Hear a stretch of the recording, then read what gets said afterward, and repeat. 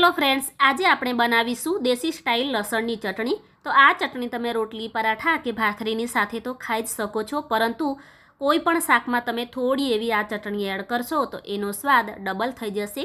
એટલી ટેસ્ટી આ ચટણી તૈયાર થાય છે. એના માટે અહીંયા મેં કાશ્મીરી લાલ મરચાંને આ રીતે બે ટુકડામાં કટ કરી અને વચ્ચેથી બી કાઢીને લીધેલા છે કે જેથી એની તીખાસ એકદમ ઓછી થઈ જાય. તો વજનમાં જુઓ, તો સાઠ ગ્રામ મેં મરચાં લીધેલા છે અને સાથે એનાથી ડબલ એટલે કે એકસો ને વીસ ગ્રામ મેં લસણ લીધેલી છે. તો જેટલા તમે મરચાં લો, એનાથી ડબલ તમારે લસણ લેવાની છે. તો કપમાં જુઓ તો એક કપ છે અને વાટકીમાં જોશો તો એક વાટકી જેટલી લસણ છે. હવે કડાઈમાં અડધો કપ જેટલું આપણે તેલ એડ કરી દઈશું. અને મરચાંનો કલર જળવાઈ રહે એના માટે તેલ હલકું એવું ગરમ થાય ત્યારે જેમાં આપણે મરચાં એડ કરી દઈશું અને મરચાંને તમારે ધીમા તાપે જ ક્રિસ્પી થાય ત્યાં સુધી સાતળવાના એટલે મરચાંનો કલર પણ જળવાઈ રહેશે. તો મરચાં ક્રિસ્પી થશે ને એટલે બહુ સરસ એવી સુગંધ આવશે એટલે તમને ખબર પડી જશે. તો આ રીતે ક્રિસ્પી થઈ જાય એટલે તેલની તારી એક વાસણમાં કાઢી અને ઠંડા થવા માટે રાખી દઈશું. હવે ચટણીને વધારે ટેસ્ટી બનાવવા માટે એક મોટી ચમચી જીરું, બે મોટી ચમચી આખો ધાણો અને સાથે લસણ અને પાંચ જેટલા નાના ટુકડા મેં આદુના લીધેલા છે, એને પણ સાથે જ એડ કરી દઈશું. હવે ચટણી પરફેક્ટ તૈયાર થાય એના માટે લસણને કેટલું શેકવું એ ખૂબ જ જરૂરી છે.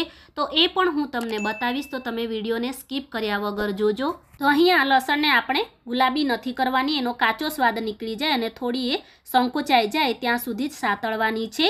તો આ રીતેની સતળાઈ જાય એટલે ગેસને બંધ કરી દેવાનું. કેમ કે ગેસને બંધ કર્યા પછી પણ તેલ અને કઢાઈ ગરમ હોય છે ને, તો એ પાકવાની પ્રોસેસમાં ચાલુ રહે છે એટલા માટે. તો ગેસને બંધ કર્યા પછી અડધી નાની ચમચી હિંગ એડ કરી, ફરીથી તમારે બેથી ત્રણેક મિનિટ માટે ચલાવતા રહેવાનું, કે જેથી લસણ વધારે પડતી ગુલાબી ના થઈ જાય. તો સરસ રીતે ઠંડુ થવા દઈશું અને ઠંડી થઈ ગયા પછી પણ તમે જોઈ શકો છો, લસણ તમારી આ રીતેની હોવી જોઈએ. અને મરચાં પણ સરસ રીતે ક્રિસ્પી થઈ ગયા છે.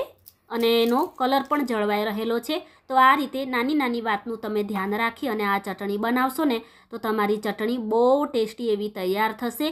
તો ઠંડી થયેલી બેઉ વસ્તુને આપણે મિક્સર જારમાં એડ કરી દઈશું. અને જો તમારે ઓછા તેલમાં આ ચટણી બનાવવાની હોય તો એ રીતે પણ બનાવી શકો છો. પરંતુ ઓછા તેલમાં આ ચટણી થોડી એવી ડ્રાય એવી તૈયાર થશે. હવે સ્વાદ પ્રમાણે મીઠું અને ચટણીનો ચટપટો એવો સ્વાદ આવે એના માટે એક મોટી ચમચી જેટલી આમલી કે પછી એની જગ્યાએ તમે આમચૂર પાવડર પણ લઈ શકો છો. હવે ગ્રાઇન્ડ કરી લઈશું. તો ગ્રાઇન્ડ કરતી વખતે તમારે વચ્ચે વચ્ચે ઢાંકણ ખોલી ચમચીથી થોડું ઉપર નીચે કરી દેવાનું. એટલે એ એકદમ ઇઝીલી તમારી ચટણી પીસાઈ જશે. તો સરસ રીતે મેં ચટણી પીસી લીધી છે અને આ સમયે બહુ ટેસ્ટી એવી સુગંધ પણ આવી રહી છે. તો તૈયાર છે અહીંયા આપણી દેશી લસણની ચટણી. તો ફ્રેન્ડ્સ આજની રેસીપી તમને કેવી લાગી? પ્લીઝ કોમેન્ટ કરી અને જરૂરથી જણાવજો. અને આ ચટણીને તમે એરટાઇટ કાચની બોટલમાં ભરી મહિનાઓ સુધી ખાઈ શકો છો. બિલકુલ પણ ખરાબ નથી થતી. તો રેસીપી પસંદ આવી હોય તો પ્લીઝ વિડીયોને લાઇક શેર કરી ચેનલને સબસ્ક્રાઈબ કરવાનું બિલકુલ પણ ભૂલતા નહીં. ફરી મળીશું ત્યાં સુધી. Thanks for watching God bless